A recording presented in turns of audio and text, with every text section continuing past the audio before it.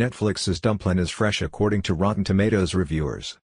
Netflix's Dolly Parton-inspired film Dumplin' is certified fresh, according to Rotten Tomatoes reviewers. The heartfelt coming-of-age comedy launched on December 7, and is already being highly praised by fans and critics alike, as evident by its 78% fresh critics score and 84% fresh audience score on the film review aggregator site. Elevated by a solid soundtrack and a terrific cast, Dumplin' offers sweetly uplifting drama that adds just enough new ingredients to a reliably comforting formula, the film's critics' consensus reads.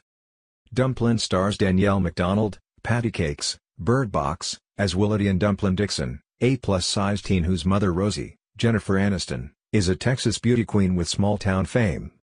The film follows Willowdean and her best friend Ellen El Dryver, Odeya Rush, as they navigate the tumultuous waters of high school and social lives, while also pursuing beauty pageant dreams for very different reasons.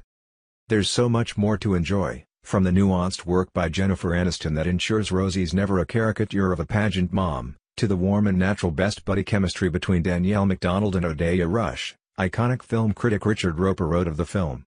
Dumplin' has pretty much made its point about acceptance and tolerance, in the kind of polished feel-good movie that comes wrapped up in a very familiar coat, indeed, CNN's Brian Lowry added.